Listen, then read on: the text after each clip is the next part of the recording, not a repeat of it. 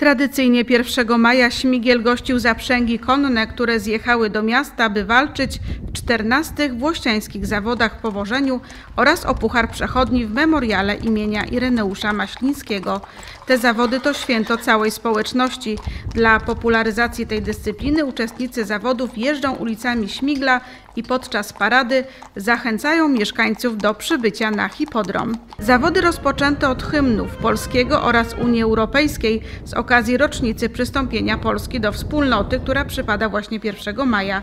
Obydwa hymny odegrała Młodzieżowa Orkiestra Denta ze Śmigla, która od 40 lat uświetnia ważne wydarzenia w gminie.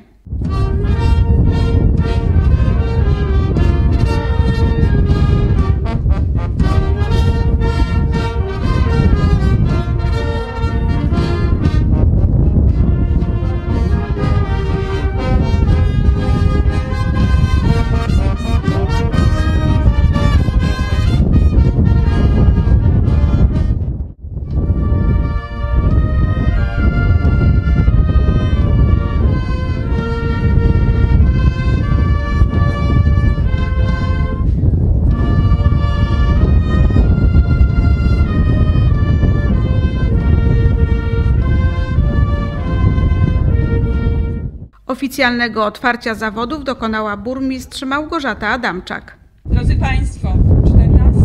Włościańskie zawody w położeniu Memoriał Ireneusza Maślińskiego uważam za otwarty. Zawodniczki i zawodnicy uczestniczący w zawodach mieli do pokonania 18 przeszkód. Jako pierwsze na starcie pojawiły się dzieci. Ich uczestnictwo to dowód na to, że od najmłodszych lat można kultywować dawną umiejętność powożenia zaprzęgami. Pierwszą zawodniczką startującą w zawodach w Śmiglu była Amelia Jęśkowiak.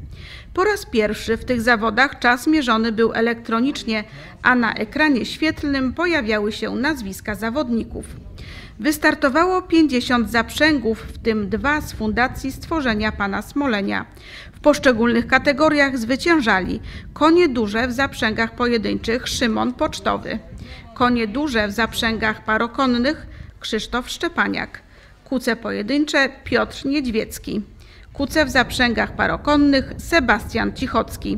Memoriałowy Puchar Przechodni wywalczył Radosław Nadolny.